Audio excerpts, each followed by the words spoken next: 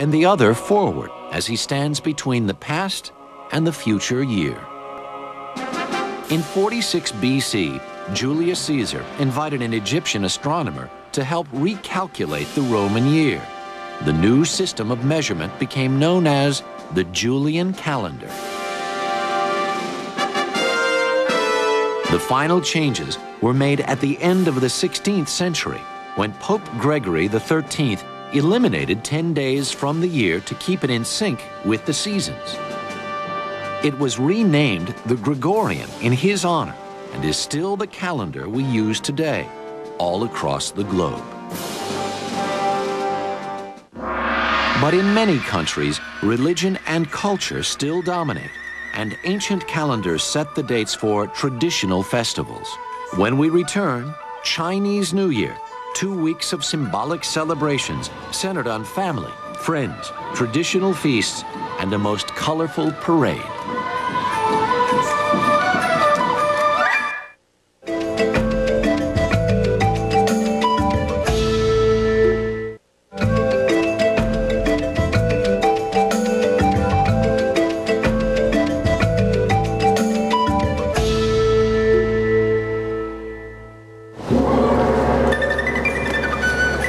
Between late January and the end of February, the Chinese celebrate the traditional New Year known as both the Lunar New Year and as Chunjie, the Spring Festival.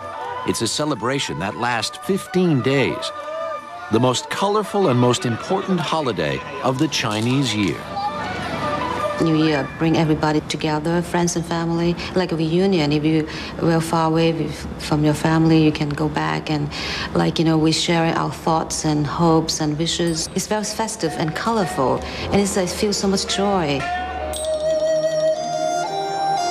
The Chinese have been celebrating the New Year since 2000 BC, though the celebrations were held at different times under different emperors. Just like in Rome, politics played a role in setting a date for the new year. In 1911, the Republic of China was established under Sun Yat-sen. Soon after, the Gregorian calendar was adopted and the new year celebrated on January 1st. But in 1927, the National Congress under Chiang Kai-shek returned to its roots and recognized the celebration of Chinese New Year. In 1949, the festival was declared an official holiday.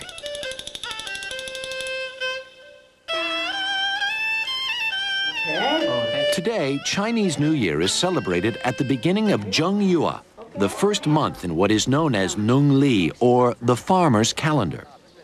It is the longest holiday of the year and the one with the most elaborate preparations. A person has to uh, abstain from any physical relationships. Uh, he has to purify everything, including his speech. Everything that is spoken is spoken in a positive. The whole house has to be totally cleaned, and all the premises around it had to be clean for the new year. Then there is the shopping for all the different goods that would be needed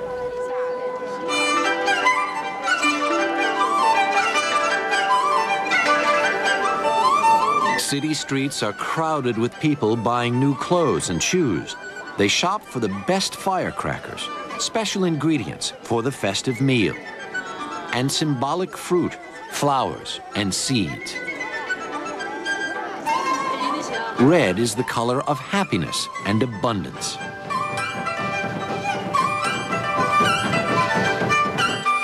Auspicious symbols written on red paper hang in every store window and home. Red color is like meaning like good fortune, according, I mean, it's Chinese, you know, customs. Like everything is red color. Even for weddings, red color. Chinese New Year definitely red, and we put like the red paper outside the door too. You know, before the New Year, like there is a Chinese character called "fu." Fu is like good fortune. So we put it there, meaning that we have a fortune coming in. The arrival of the new year wasn't always received with such good fortune. One ancient Chinese legend tells the story of the wild beast, Nian, who appeared each year at the end of winter, attacking and killing villagers. To scare the beast away, they used the color red, loud noise, and bright light and the customs of Chinese New Year were born. But Nian is also the Chinese word for year, and much like a monster, the year was something to be feared. Flood, famine, and sickness took many lives. So on the new year, families gathered for a reunion to see who had survived and to wish the best for the next monster year to come. Today, the tradition continues as families celebrate the new year together. It's a time to honor ancestors, often by kneeling in front of a specially created altar. Younger generations often bow to older ones to show respect.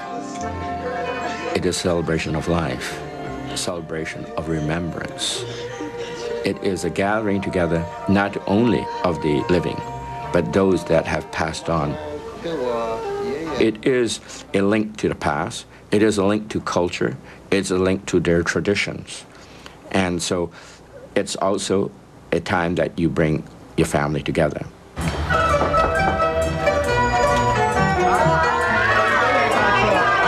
In San Francisco, the Lo family gathers together every year. They share the sweetness of candied fruits, vegetables, and seeds.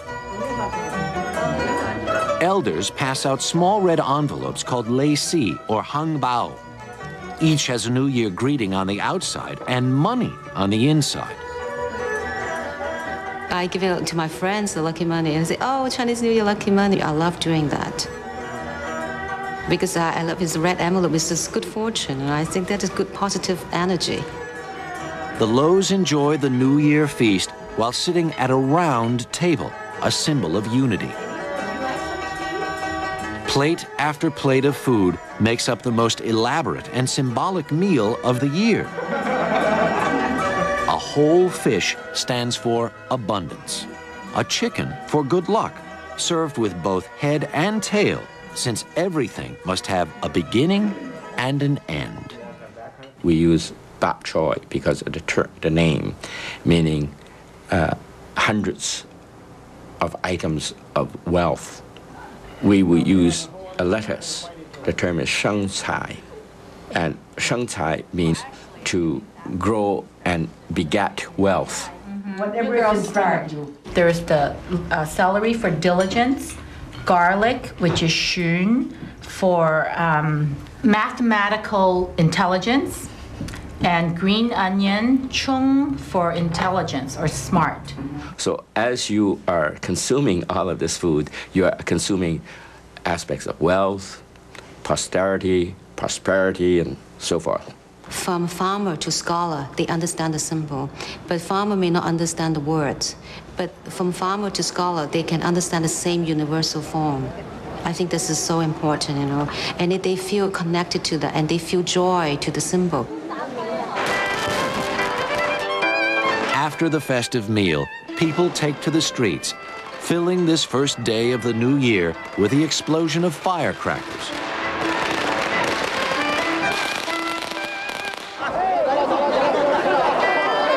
The celebration continues for two weeks. There are traditional ceremonies and days of rest. It's a time to visit friends or go to the temple. And on the 15th day, the Lantern Festival arrives, signaling the end of the holiday.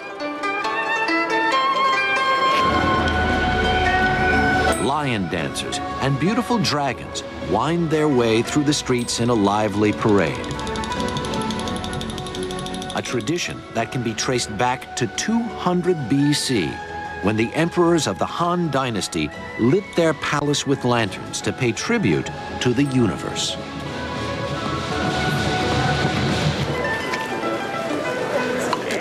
The city glows with light.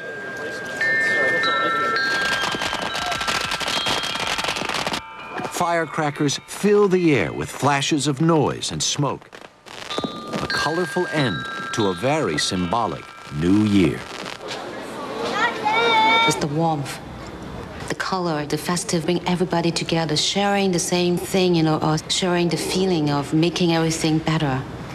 I think that's important for our life. For me, you know, I feel there's a new energy. new. It's like always like a new. It's like every new year is a new beginning. When we return, the eerie blast of a ram's horn heralds the arrival of the Jewish New Year.